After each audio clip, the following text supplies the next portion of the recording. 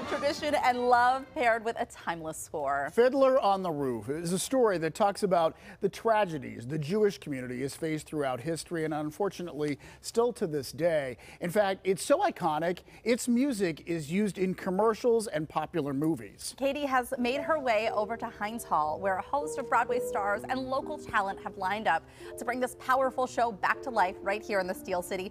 Katie, you're in the midst of some serious talent, so tell us who you're about to meet up with. This has been a magical morning already, and we are just working on rehearsals and some blocking and some lyrics.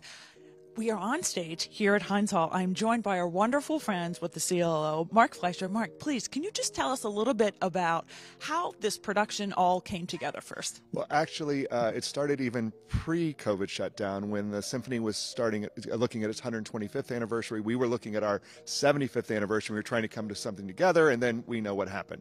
Uh, once it was done, Shelley and I and the symphony and others at CLO continued to meet and say, what can we do together? What can we bring as a show? And so uh, we looked at uh, what musicals we have not done in a while, and uh, we came up with the idea of bringing Fiddler to life as a concert version uh, with a connection of not just the CLO and the PSO, but CMU, uh, local actors, the Tamburitzans, all sorts of community organizations coming together for one common goal. Right. Now, you are bringing this to life, but in concert, I feel like is a very important note. What does it mean for an in concert performance? Sure. So, first of all, we got to say that the music becomes an incredible part of this. There's a 65 piece orchestra an 80 person young person's choir, as well as the actors. And, and what we're doing is the John Williams score, for which he won his first uh, Academy Award for the movie of Fiddler. So there's going to be this giant musical dynamic sound backing up the actors. Now, they will be moving around the stage, they will be saying their lines. Sometimes they're completely off book, sometimes they have a script in their hand. But again, it's to put an emphasis on, of course, telling the story, but on this incredible music and, and lyrics.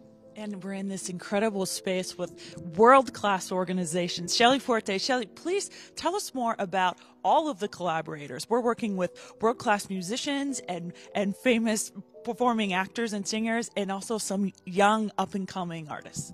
Yeah, so we have uh, some students from CMU. We even have young children from the CLO Academy.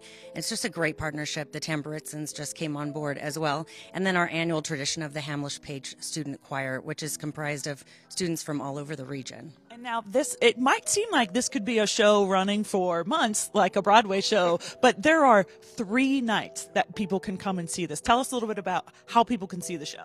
Yes, so it's two nights and one afternoon, which I know those matinees are very popular. Um, people can you know come to our box office or go to pittsburghsymphony.org to get tickets and yeah come and join us it's it's really spectacular because like mark mentioned the john williams score usually you have a pit orchestra that's much smaller than this but john williams took the pit score and beefed it out for the film so it's something you rarely hear except for on screen Something you rarely hear, and something that you certainly have never seen here in Pittsburgh. And this performance is only happening right now here in Pittsburgh, correct?